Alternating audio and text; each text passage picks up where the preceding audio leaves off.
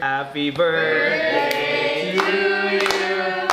Happy birthday to you. Hey, happy birthday.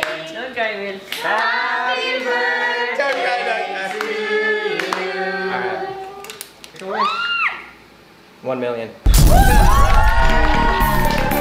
Kamusta mga Mara, mga para, mga chong, mga chan? Na-edit ko yung videos ni Kuya Will. Kita niyo yan? Ang hirap. Tawa mo sa vlog ko. Hi guys, so siguro alam niyo na kung para saan ang video na to. Kasi wala kasi nung in-upload ni Kuya Will yung video niya. Ang dami na nagtatanong sa akin kung um, totoo daw ba yun, kung kamusta daw siya. I mean, lahat.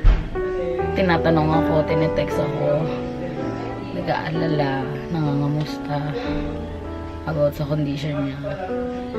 And hindi ako makasagot ng maayos kasi hindi ko alam yung buong detalye. Nung pag-upload ng video niya, tinext ko siya, nakausap ko siya. Sinabi niya sa akin na, you know ba Nina, you're the first, you're one of the first persons na nakausap ko about this first person na natawagan ko after na i-upload video. Ah, sinabi niya rin sa akin na na kaya siya nahirapan i i video i-edit kasi alam niya na malulungkot tayo. Siguro sobrang pugtong-pugtong na yung mata ko. Nung una kasi, nung napanood ko yung video, sabi ko, ay, ano lang to. Siguro, medyo hindi to totoo. Though, nasabi na sa akin ni Kuya Jaco, nung sa Dumaguete pa lang na, yun yung possibility na meron si Kuya Will na sakit. Kaya hindi ako maniwala. Sobrang healthy na tao ni Kuya Will. Siguro, siya yung pinaka-healthy na tao na kilala ko. I mean, yung lifestyle niya. Kailan natin ituloy yung Operation Balikalindog? I mean, I'm trying to mag-exercise araw-araw, buong araw, without the buong, just araw-araw. And you're gonna join me. Like I've said in uh, my very previous vlogs, I think, I know, vlog like seven or eight, way back in the day. Palagi kong sinasabi na, if you hang around me, you have to adapt to my lifestyle. And yung lifestyle ko is a healthy lifestyle where you better yourself mentally, physically, spiritually, whatever way possible. So I will force you to exercise with me. Exercise Game? tayo. Exercise na tayo, Alright. best. Sing with my ceiling missing. Middle finger up to my competition. I'm different, yeah, I'm different. I'm different, yeah, I'm different. Super healthy na tayo ngayon, mga best. Nung tumira ko sa bahay niya, halos pinagsasabihan niya ako na pag kumakain ako ng hindi maganda, pinagsasabihan niya ako. Tapos, nung nasa bahay din niya ako, Ilang beses ko na sinok to, paulit-ulit kasi umiiyak ako. Ayoko kasi umiyak talaga. Yun nga. Sa... ko. Sa bahay niya. Sa umaga, siya pa yung kukuha ng tubig ko. Sinasabi niya na, oh, you must, you must drink this kasi ano daw, para daw it helps my metabolism, ganyan, sa umaga. Kung alam niyo lang.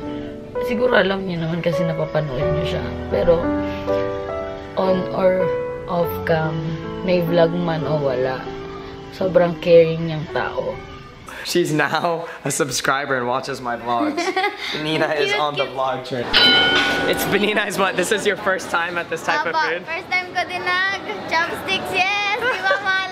First time niya pala. This is why nakakatuwa talaga magkasama kami ni Benina kasi there's so much she hasn't experienced in life. Like, I just want to teach you so much and take you around and everything. He's super sweet pa rin na inaalala niya ako kasi alam niya na iyakin ako. Konting kibot tungkol sa kanya, iiyakan ko. Kasi sobrang love na love ko siya.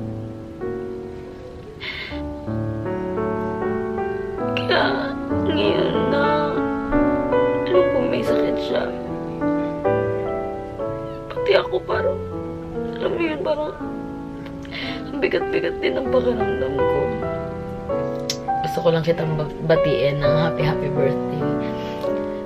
Sana, um, continue to inspire people like me.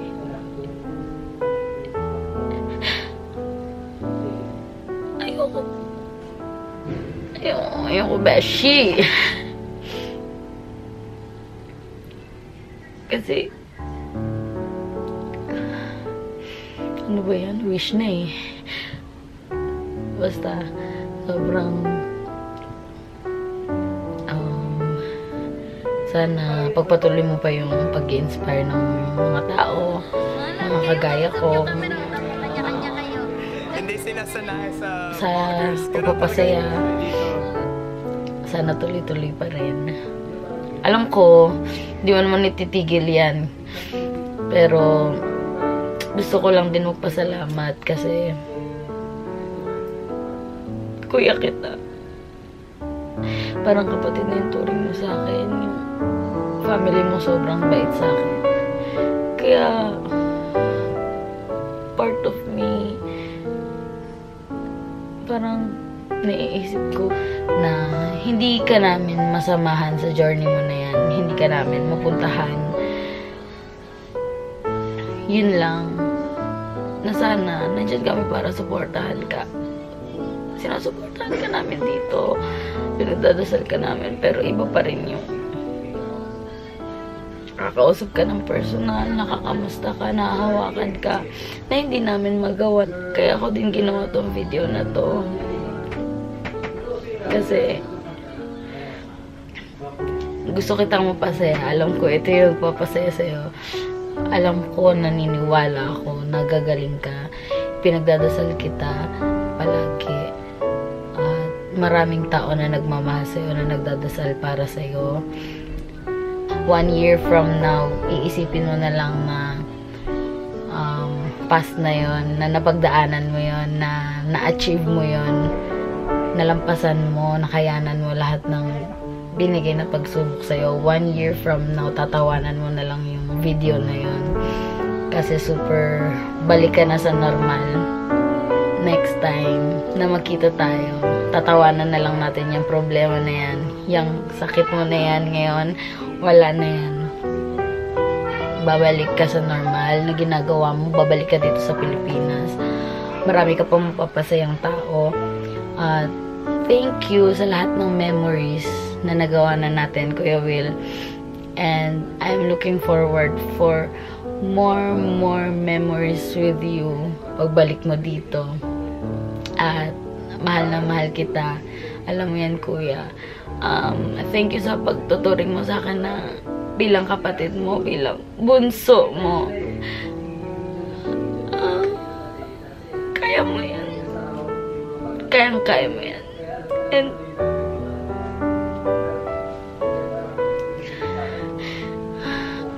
basta, mahal na mahal ka namin, mahal kita, and happy, happy birthday. Virtual hugs! Beshi, love you. Bye.